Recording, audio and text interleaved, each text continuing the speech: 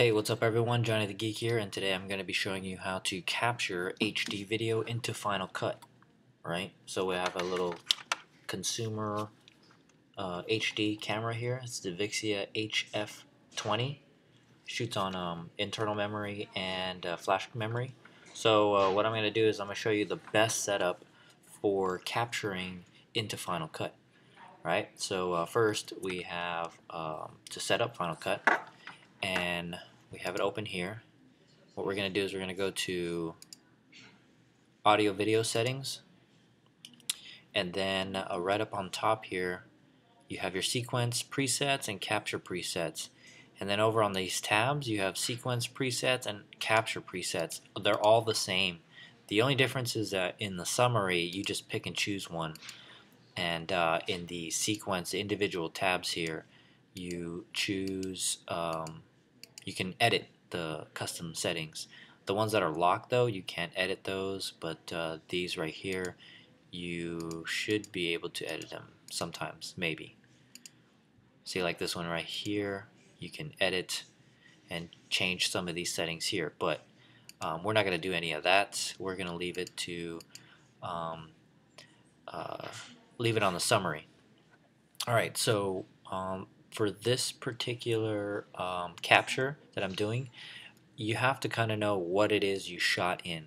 So this particular camera shoots in many different modes. It shoots in 24p, shoots in uh, 30p, or uh, what is it, 60i. And my footage, I know that I shot in uh, 60i. Uh, That's the frame rate. And I know that I shot in 1920 by 1080 right? Some other cameras might have different modes like 1440 by 1080 or uh, 1280 by 720 and so if you know what you shot in that's when you would choose uh, one of these settings here. So for HD video uh, the codec that works best in Final Cut is going to be Apple ProRes right? So uh, here we have a plethora of Apple ProRes codecs. Now a few of these um, I'll show you is the, the HQ, that's like high quality. There's the LT, which is like a light version, you can consider it that. And then there's the regular, where it's just in the middle. Right, so uh, what I like to do is I like to go with the LT. Um, it's a lighter version and uh, it's easier to work with. Uh, the file sizes aren't extremely huge, so it's better to work with that. Um, the HQ, there really isn't that much of a difference, a noticeable difference between the HQ and the LT and the, the regular one. So that's just my personal preference. You can go with the HQ if you want uh, for the highest quality, but the file sizes are extremely large. Right, so uh, like I said, I shot in uh, 1920 by 1080 at 60i, which is right here right? If I shot in uh, 30p, I would choose this one. If I shot in 24p, I would choose this one. If my camera did 25p or 50i, then I would choose those, but my camera doesn't do that. So I'm going to choose the uh, 60i 1920 by 1080. Right, so the capture preset is set to Apple ProRes 422. Now what that means is that when the uh, footage transfers from the camera to Final Cut, it uh, converts it to the Apple ProRes codec, and that's um, uh, makes it so that it's uh, you can edit the film or footage in uh, Final Cut. Right, so everything else leave the same, and you just press OK, and now we're all set up uh, Final Cut. So now we're going to start doing um, the transferring. Uh, what I got to do now for this particular camera is I'm to power it on. I'm to connect the USB cable. And I'll get a menu screen.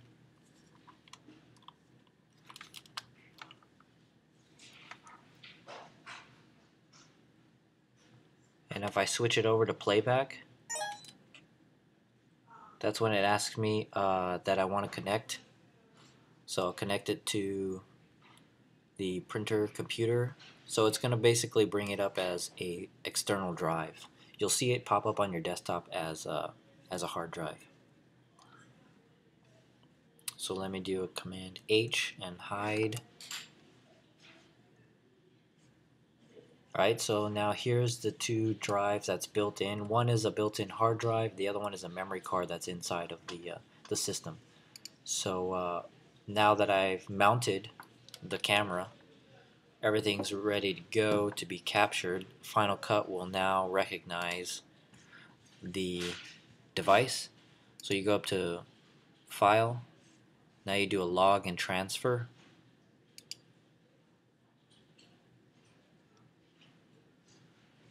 And it's going to detect your device through USB. Right, so now here are the clips that's in the device. Right, so there's uh, clips that are in the memory card and the hard drive. So you can do a little bit of preview. You can um, make it in and out points to bring in specifically what you want to bring in, but I typically like to just bring in everything. So what you do is you take your clip here and you click and you drag and you just drag media here. Right? So let me see if I could find a short video like this one. And click and drag and you let go and so what it's doing now is that it's transcoding it to the Apple ProRes 422 codec so that you can edit it in Final Cut. Because uh, by default, the file that you have is actually um, uh, an M2TS file or MTS file. That's a file that uh, that it records in, the camera records in. And what you can do is also uh, transfer a file from a folder. So let me show you what the folder structure looks like when you record on your camera. Alright, so here's an example of uh, the file structure. On the camera itself, inside the memory, you're going to have a folder. It's going to be called uh, AVCHD, right? And the folder where all your clips are, uh, where your camera records your footage, is in the BDMV folder. And then right here in stream are your actual clips. These are the MTS clips right? But you can't just drag this folder into Final Cut and try to edit video. Uh, what you do have to have is this BDMV folder at least right? So you have to have this folder and everything in this folder for it to uh, recognize so let's go back to Final Cut and let's add a folder so right up on here, on the top left, click on that, and we'll go to AVCHD, click on Open, and now it's finding the clips inside of that folder.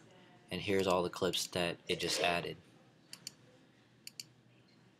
And so what I can do is just click and drag a clip in, and it's transcoding it now and so once it's finished transcoding, you can close out log and transfer. And here are your clips that's ready to be edited. Just drag it down into your timeline. And now it's a clip that's ready to be edited. Alright, so uh, that pretty much concludes the setup of capturing log and transfer. Thanks for watching. Peace.